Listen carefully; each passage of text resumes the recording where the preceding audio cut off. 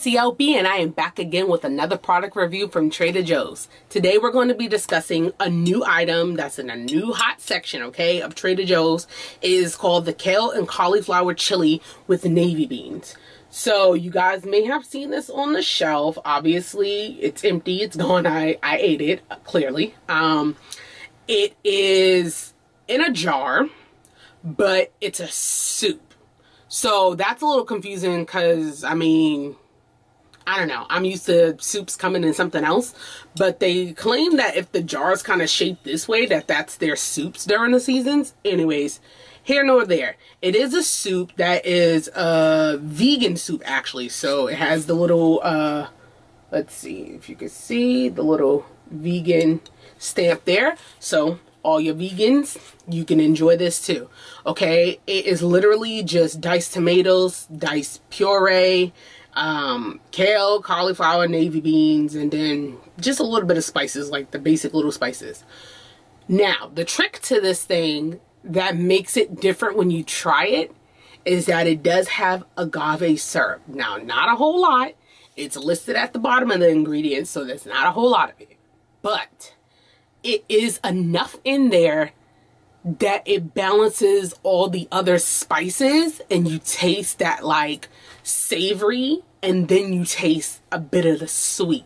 And it's just a hint of sweet it's not crazy but it's like that nice little that little like nice little touch to it. So check out my initial reaction while I prepare this dish. Hey y'all. So I'm deciding to cook this kale soup with some ground turkey just because it is vegetarian style um, and I already had some ground turkey ready to go so I'm going to add that with it.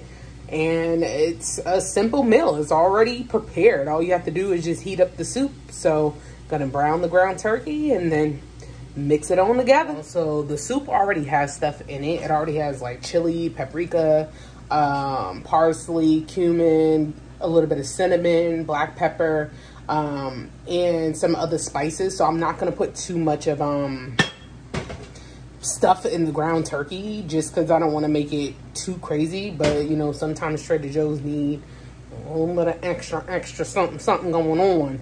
So what I am going to add is, um, let me show you. I'm going to add some of this Ajika Georgian, which I did a review on that, so y'all can go back and check that out. And I like to go based off of smell because I'm already smelling what this soup's gonna kind of possibly taste like. And so just adding a little bit of that. And I have some spices that I get kind of in bulk um, from this Armenian store um, next to my house and this is cayenne pepper so i put it inside of its own little shaker. And so i'm gonna just add a little bit of that just because i like to have a little bit of a a little bit of a kick a little spice spice to it. So i'm just adding that um and right now i'm just browning the meat and then i'm just gonna add the soup in it.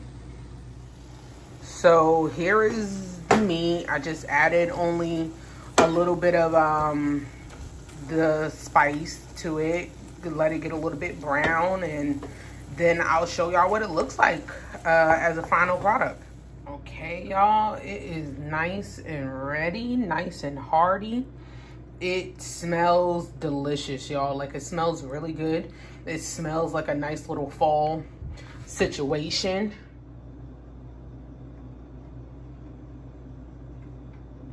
Okay so you saw what I thought about it it ended up turning out way better than I honestly thought. Now, when I saw it on the shelf in the store, I was just like, kale cauliflower chili with navy beans.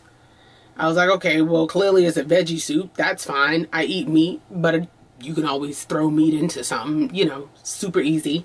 And I was just like, I don't know, but it sounds pretty hearty. And when you look at the jar, the substance of it looks pretty hearty, as you could see in the video.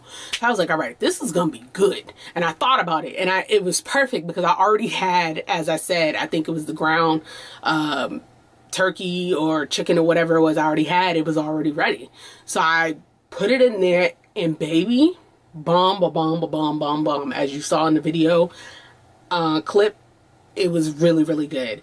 To the point that I actually went to Trader Joe's today and I bought two more of these because it's such a quick dish.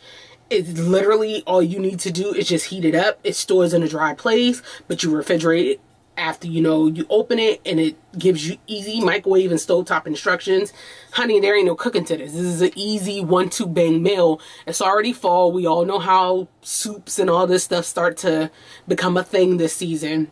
Get you some honey. Get you some okay? So get down to trader joe's. Try this out. I promise you vegans vegetarians people that eat meat pescatarian whatever all of the above y'all will enjoy this let me know what you think